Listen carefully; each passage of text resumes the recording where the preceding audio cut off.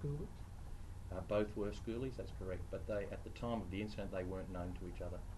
What actually happened, or what does the victim say happened in the hotel? Well, it, it's alleged uh, that um, neither of the uh, neither the victim or the alleged offender um, were occupants of the room. However, um, they were both in the room, and a verbal argument ensued.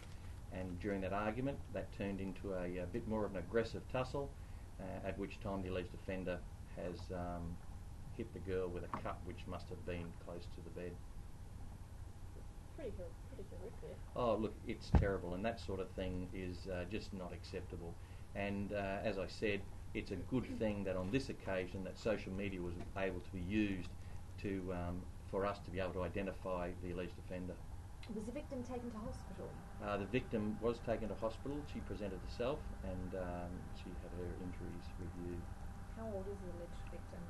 Uh, the victim is believed to be 17 years of age, Mhm. and uh, the alleged offender is a, a, a female believed to be 18 years of age. Do you know if the argument was over? It was over something as trivial as uh, one girl sitting on the bed that the other girl said was hers. Yeah.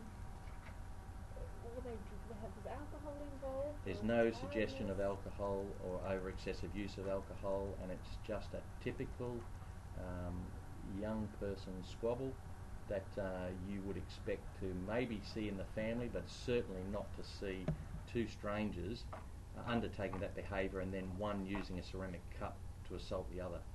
How concerning is it that images like this are getting out there as an example of what happens at schools? Well, well, it's not concerning to me. I'm not concerned about that. I think that sort of stuff needs to go out there because the young people need to see the dangers of um, the shenanigans that go by.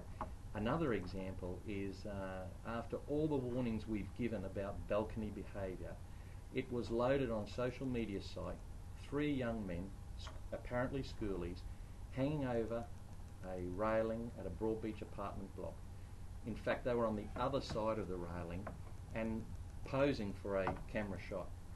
Um, as a result of that post being identified by police uh, and the police officer able to identify the rough area where that building was and using Google Earth, we've now identified the building and we hope that uh, we will be able to charge these three males with that offence of unrestricted uh, dangerous behaviour. Were they schoolmates?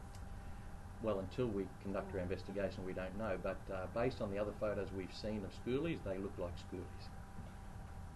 Des, I, I guess another reminder um, to young people, schoolies, about using social media and the use of it.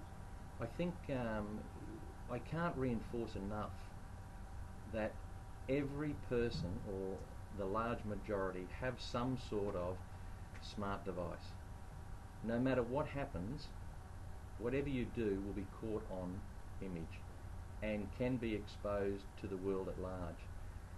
I don't know how many times you have to explain that to young people before they realise, and oftentimes it'll only be when something happens, uh, you know, somebody might pick up the fact that it's a good idea not to be stupid. I think uh, the old saying is you can't put an old head on young shoulders. Was this girl hit um, multiple times?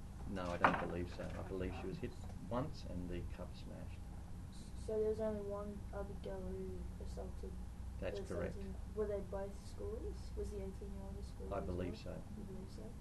Okay, so 18 Correct. and 17. Yes, Okay, and they didn't know each other. they didn't know each other. The report uh, about a, a girl taking 18 ecstasy tablets to. know We're not aware of that. We have uh, during the week had a number of drug arrests, but they've been uh, very minimal compared to the number of people we have in Surfers Paradise. So we're looking at each night two to four arrests, and the quantity of